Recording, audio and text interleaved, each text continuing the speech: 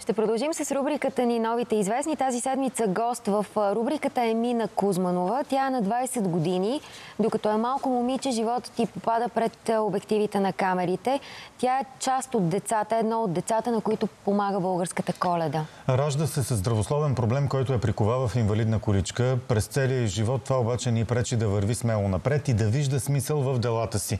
Тя е част от новите известни, тъй като използва своите профили в социалните мрежи, за да разказва за България за историята и богатствата, които имаме. С Мина ни срещат Василена Гръбчева и оператора Росен Илиев.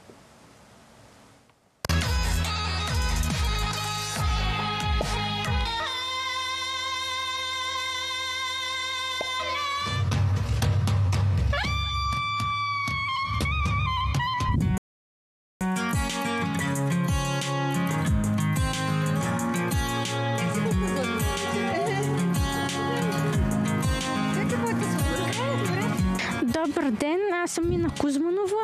Студентка съм първи курс национална сигурност. Освен, че следвам, качвам клипове в TikTok. Факти само единствено за България.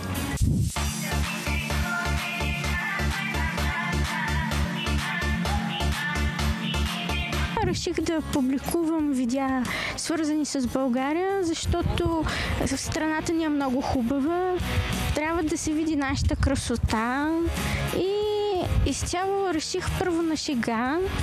Не очаквах да има такъв интерес и го направих заради малката ми сестра. Тя на 12 години също има TikTok и доста често попадаше на глупости. Затова реших да й покажа, че може и хубави неща да се пускат. Все пак социалните мрежи са начин за изразяване, за добрини.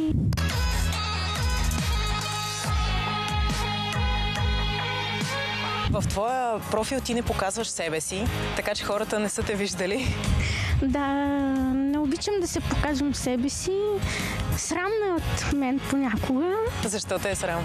Ами, защото не всички хора са добре настроени към тези с здравословни проблеми, подиграват си, затова реших да си спестя хейт, коментари, както се нарича на чист български негативни. След като се притесняваш от това през годините, по някакъв начин хората лошо ли са се отнасяли към теб? А, не, не са се отнасяли точно лошо, но просто са приятелски настроени, да кажем, задават много въпроси, защо си в количка и много разпитват, което за мен не е много окей. Okay. Е някои, които, нали, примерно да се подиграват, като по-малка Имаше една жена, която каза на детето си да не общува с мен, защото съм заразна. Натъжава ли те това? Вече не. Преди плаках, сега не свикнала съм, но трябва да разбера, че тези хора ги имало и преди и винаги ще ги има.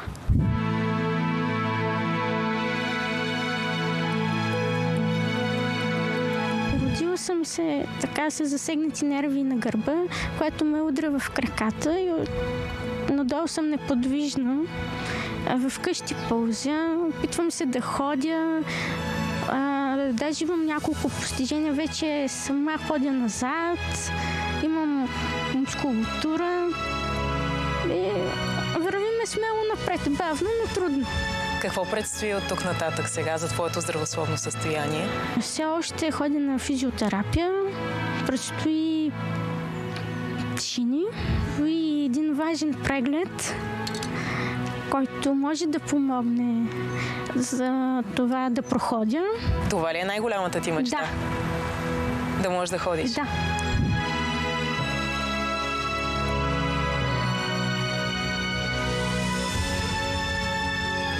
Една година следвах маркетинг в нов български, но не ми хареса, не беше моето и затова реших да запиша друга специалност, а именно национална сигурност. От малка исках да стана полицайка, после комисарка и е доста интересна професия. Искам след време, ако може, да се занимавам с професията си и да създам дружество, което да помага на хората с здравословни проблеми, е, морално, е, парично и просто да се види, че всички хора сме еднакви, макар и да сме в количка, да не виждаме и така нататък.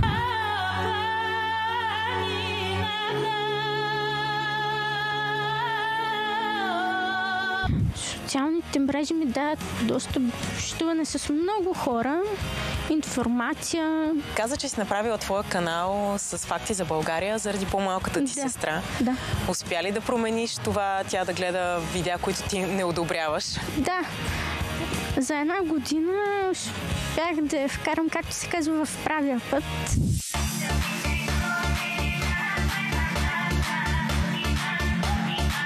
Цяло искам да кажа на обществото да бъдат много здрави, да не се отказват от родината ни, защото е много хубава, а на хората като мене да продължават да се борят.